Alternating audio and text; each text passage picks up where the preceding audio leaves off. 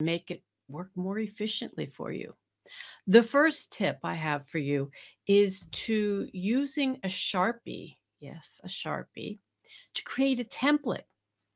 Maybe it's a, a calendar template page that you would like to have that you want to have that every month and then but then you want to wipe it off.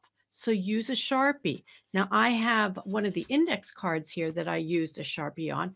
This can be, uh, you know, what uh, action steps, what what what are my to-dos for today? So I, I made a template here, and then well, let's see if I have time. Here's some other things that I you know can squeeze in if I have the time. So I created a template, and this is a Sharpie, so it's not going to wipe off. Okay use your your erasable pens on here and at the end of the day wipe it off and start fresh the next day.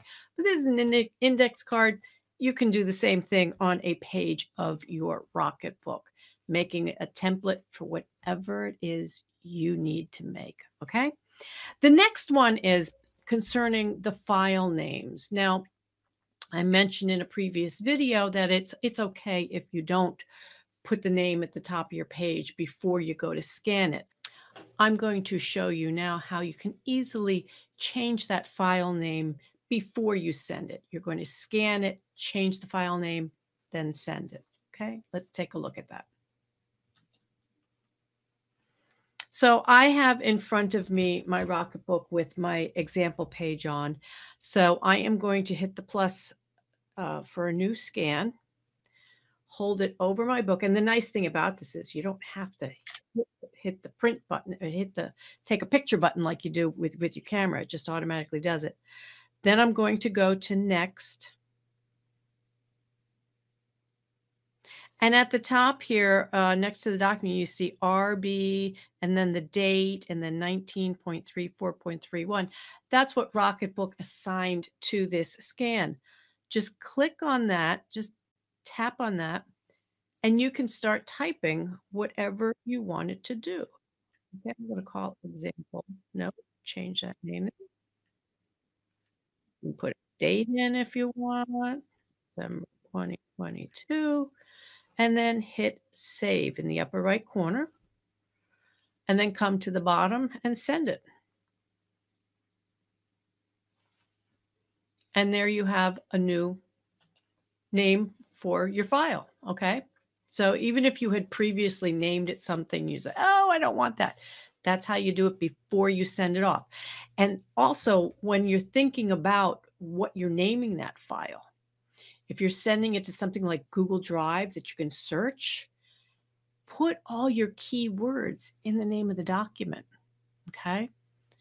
That way, the system can e- find what you're looking for easier. Because remember, like Google Drive, they only search the title of the file. It, it, it, can't search the contents of it.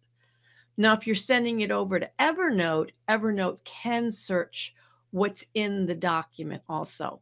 But it's best when you're naming naming the actual note uh, to put keywords in that file name. It's just a lot easier to find then. And the last tip I want to share with you well, not so much tip, but just a little bit of information about the pens that you use uh, on here. The, they are erasable, remember, like, and there too, if you haven't figured it out. If you're taking notes and you say, Oh, I want to, you know, I don't want that. Yes, you can erase it right away. That's that's the nice thing about it.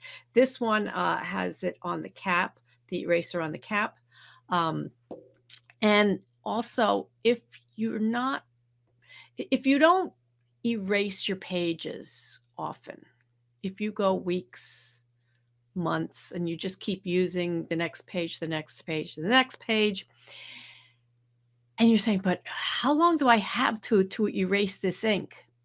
My research has shown that even after a year, that the ink will come off the page. If you have the the wipe off, uh, you just take the, the wet cloth and wipe it off.